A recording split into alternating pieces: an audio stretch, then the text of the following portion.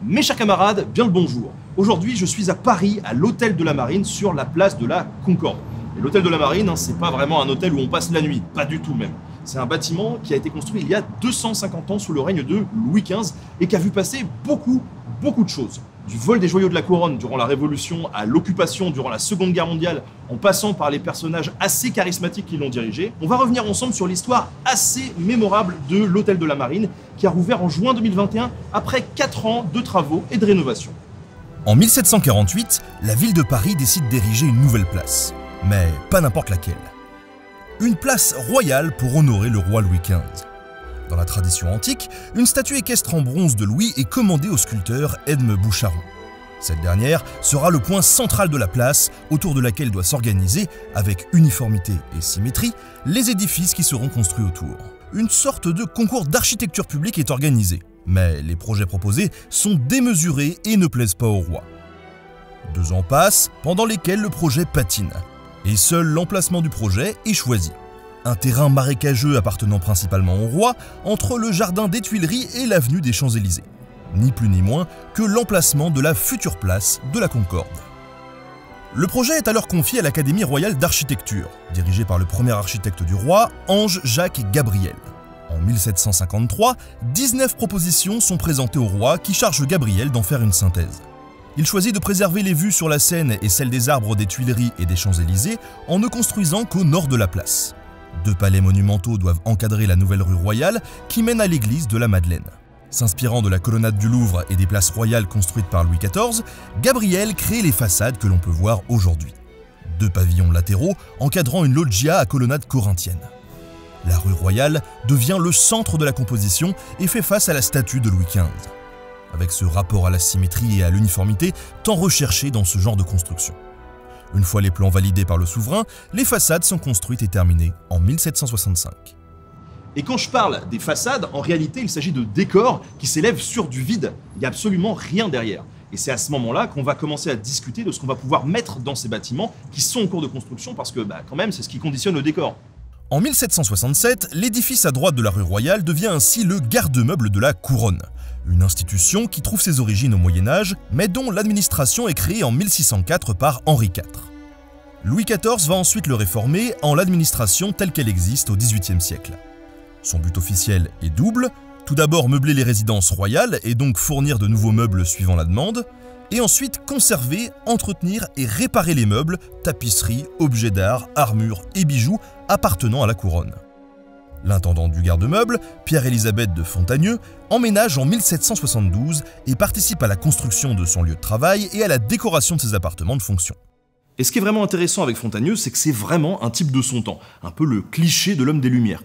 Il est à la fois euh, érudit, euh, curieux et libertin, trois facettes qu'on va retrouver dans l'aménagement du bâtiment. Même le côté libertin. Si son intérêt pour les sciences et les arts se retrouve bien dans l'installation de ses appartements, qui comprennent des laboratoires de chimie et qui devient un des premiers bâtiments de France à être équipé d'un réseau d'eau chaude alimentant sa baignoire, il installe également, pour assouvir ses pulsions libertines, un cabinet des glaces entièrement recouvert de miroirs avec un sofa au centre. Fondamentalement, Fontagneux ne change rien à l'administration dont il hérite, et qui fonctionne plutôt bien. Mais sa curiosité d'esprit et son expérience pratique le rapprochent des artistes et des artisans qui travaillent pour le garde-meuble. Comme je vous le disais, un des rôles du garde-meuble est de conserver les possessions royales.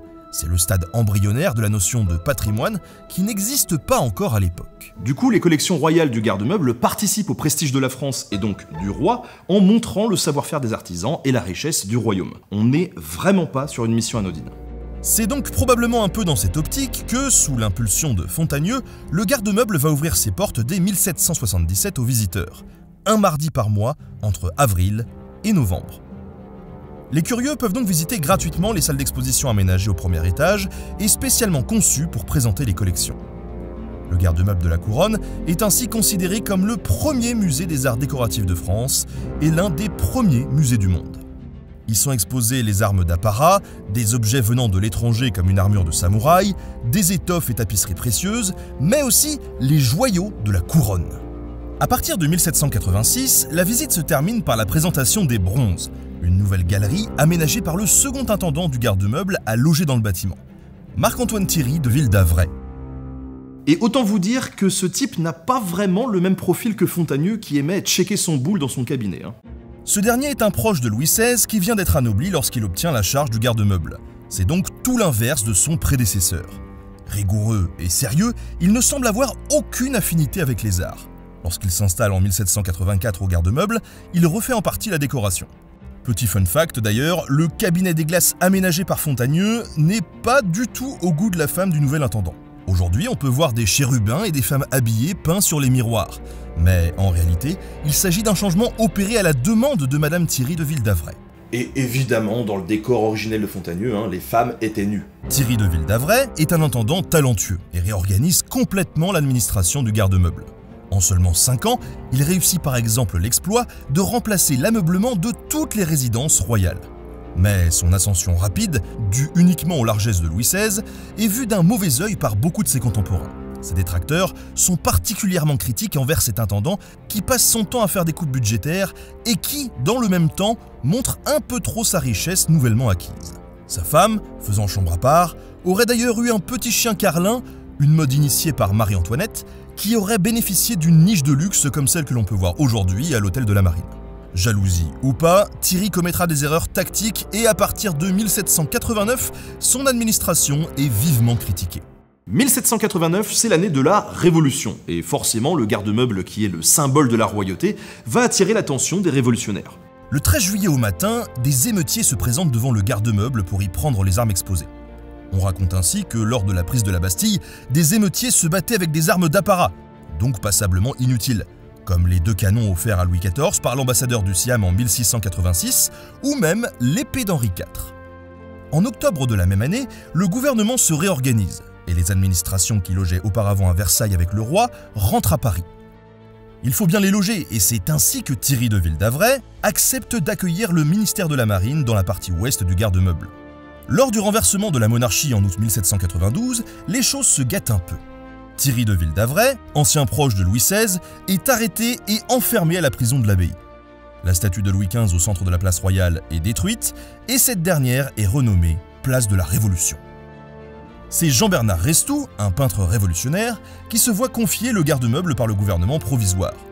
Des scellés sont mis sur les différentes portes des salles afin de protéger les collections. Cependant, dès la fin août, Restou va se plaindre beaucoup du manque de moyens. En gros, l'organisation de la garde nationale qui est chargée de la surveillance du bâtiment, elle est tellement mauvaise que parfois les gardes ne sont pas relevés pendant plus de 48 heures. Du coup, les gars, ils partent hein, et ils laissent le bâtiment sans surveillance. Et euh, pour être honnête, quand ils sont là, ils sont tellement ivres que Restou a carrément peur qu'ils foutent le feu au bâtiment. Il n'est pas aidé. hein.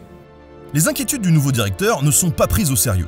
Un adjuvant général de la garde nationale se rend bien le 9 septembre sur place pour constater lui-même le problème, mais il déclare que les portes étaient bien fermées la nuit et donc qu'il n'y a vraiment rien à craindre.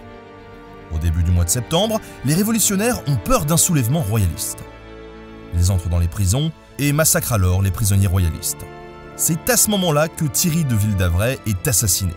Mais dans le chaos engendré par les massacres de septembre, d'autres prisonniers sont relâchés.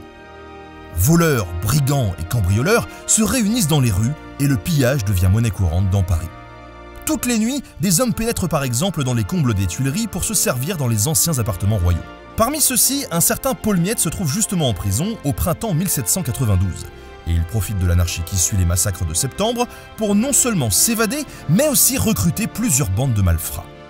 Et Paul Miette, il est ambitieux. Il veut faire le casse du siècle et il va y arriver. Si les faits sont aujourd'hui assez flous et que plusieurs versions de l'histoire cohabitent, il semblerait qu'avec l'aide de ses compagnons, ils s'introduisent dans le garde-meuble pour la première fois la nuit du 11 au 12 septembre, grâce à un réverbère en face de la colonnade. Une fois sur la loggia, ils enfoncent le volet d'une fenêtre, coupent un carreau avec un diamant de vitrier et enfin ouvrent la fenêtre. Des guetteurs, déguisés en gardes nationaux, patrouillent sur la place de la Révolution.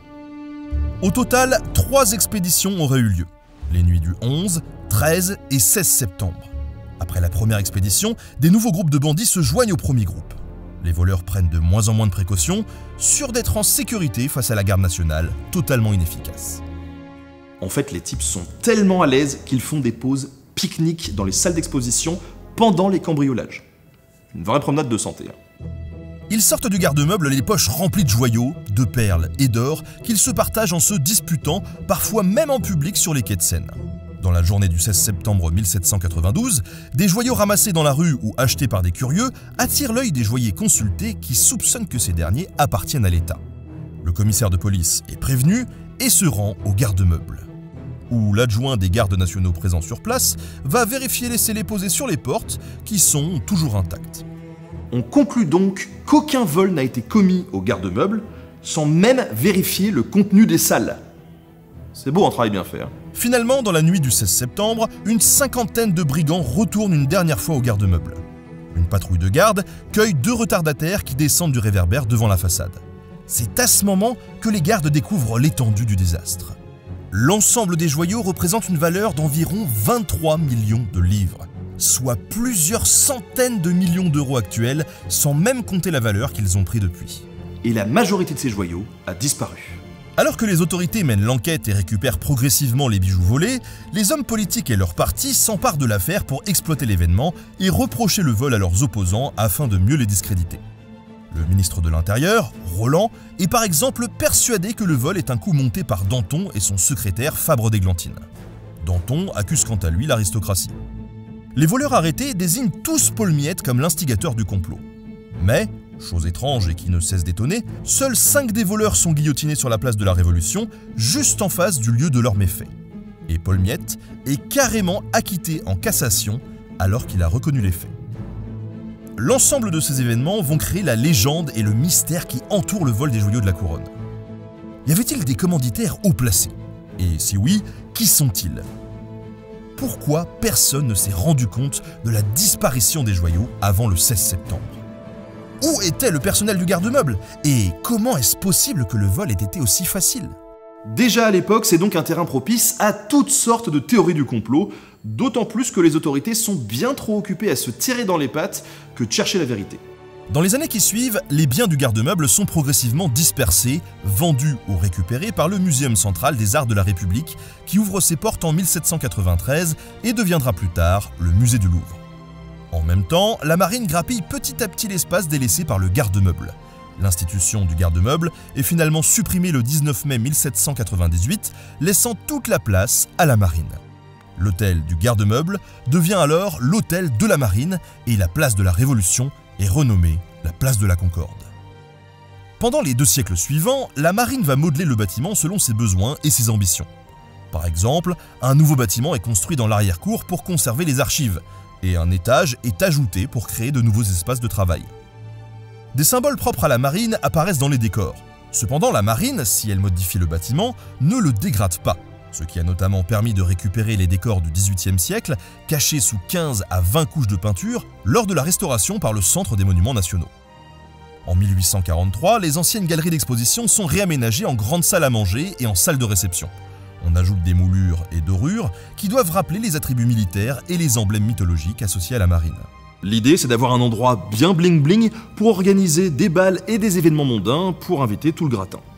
L'hôtel de la Marine est inscrit en 1862 sur la liste des monuments historiques, et les embellissements prennent alors la forme de restauration et de réparation, qui sont parfois, disons-le, assez insolites. Ainsi, lorsque l'on creuse le métro parisien sous l'hôtel en 1908, à la surprise générale, l'aile est du bâtiment s'affaisse légèrement et doit donc être redressée. Et j'aimerais vraiment avoir une pensée émue pour le responsable des travaux qui a dû lâcher un petit euh, oups quand il a vu le résultat. Évidemment, le ministère de la Marine est un lieu où des décisions importantes sont prises, comme par exemple dans ce salon diplomatique. D'ailleurs, petit fun fact, qui dit politique dit espionnage, et il n'est donc pas surprenant de découvrir dans le salon diplomatique une toute petite cabine où peut se tenir un homme pour espionner les conversations qui se déroulent dans le cabinet. L'un des panneaux du mur peut même être entr'ouvert pour mieux entendre les conversations. Et une des décisions importantes prises dans ces murs, c'est par exemple l'abolition de l'esclavage. Bien évidemment, le processus d'abolition de l'esclavage n'est pas le fait d'un seul homme, loin de là, et les révoltes d'esclaves dans les colonies ont amorcé et accéléré les discussions juridiques autour du sujet. Mais un des personnages importants de cette abolition est sans aucun doute le journaliste et écrivain Victor Schulcher, un défenseur acharné de la République et de ses valeurs. Lorsque le gouvernement provisoire de la Seconde République est créé au début 1848, Schulcher va convaincre le nouveau ministre de la Marine et des colonies, François Arago, de l'importance de son combat contre l'esclavage. Nous sommes en mars et Schulcher n'a pas de temps à perdre. La commission d'abolition de l'esclavage voit le jour le 5 mars. Et le 27 avril 1848, elle propose déjà une série de 12 décrets qui non seulement émancipent les esclaves et leur octroient le statut de citoyen, mais organisent aussi l'avenir des colonies. L'émancipation est totale. Liberté du travail, de circulation, d'expression, de publication et de réunion. Et c'est sur ce bureau qu'a été rédigé le décret de l'abolition de l'esclavage. Pendant la Seconde Guerre mondiale, il est occupé par la Kriegsmarine, c'est-à-dire l'état-major de la marine allemande.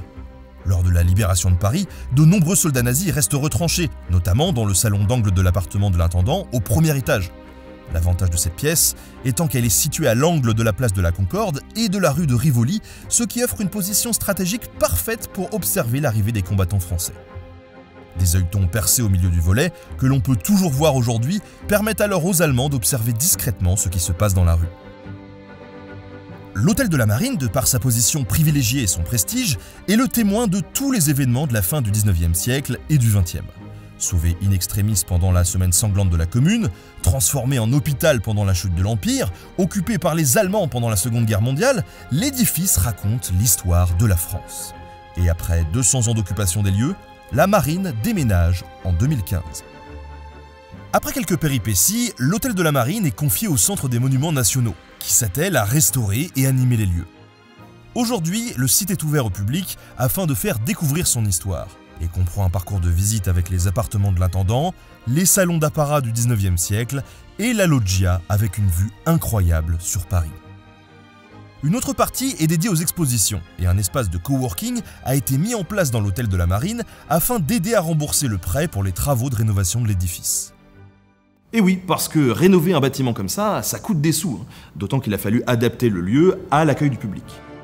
C'est ainsi qu'une immense verrière a été construite au niveau de la cour de l'intendant afin d'illuminer davantage la cour qui est à la base très sombre, mais aussi de protéger le public de la pluie et de délimiter l'ancien aspect du bâtiment au XVIIIe siècle, puisqu'au-delà du deuxième étage, il s'agit d'un morceau de bâtiment qui a été rajouté au XIXe siècle.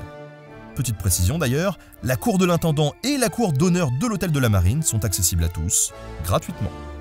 On est donc au cœur de l'histoire avec un bâtiment qui évolue sans renier ses racines.